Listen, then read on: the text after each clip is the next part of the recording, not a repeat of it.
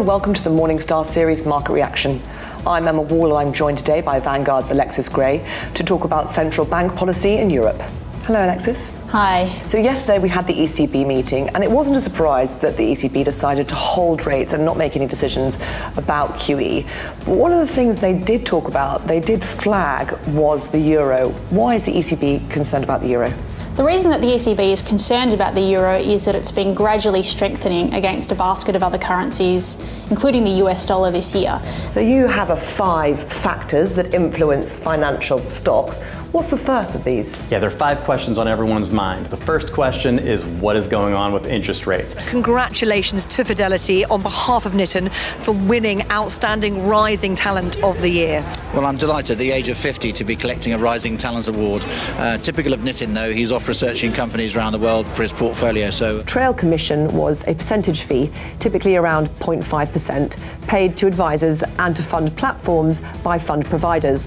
It was taken out of the annual management charge, and so to many investors, it was as if they were receiving a free service, or at least it made it very difficult to determine how much you were actually paying for the service. Would you rather have £100,000 now or £150,000 in 10 years' time? Uh, I'd rather have it now. And why is that? Uh, invest in it and then uh, hopefully getting greater returns than the 50,000 in 10 years' time. 100 now. £100,000 today.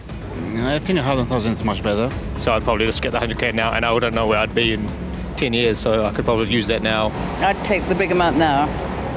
You don't know what the future holds, and I hate to interrupt you, but my bus is coming. That's fine. And you very much became the face of that campaign, but it was a wider group of people, wasn't it, behind that? Perhaps you could tell us about how they came it, together. It was very interesting, this idea that I put myself up as being, um, you know, the, the, the face and seeking publicity, etc. So on the 6th, so 19th of July, there were six cases that went before Lord Leveson, and he chose me as the uh, lead claimant on my case for two reasons, actually three reasons, I think. One is we were very, very careful to make our case a black letter of the law. We did not involve any political statement in our case. It was purely a constitutional case to your point, that shows how laughable it is even trying to predict what the market, how the market will react to a political event.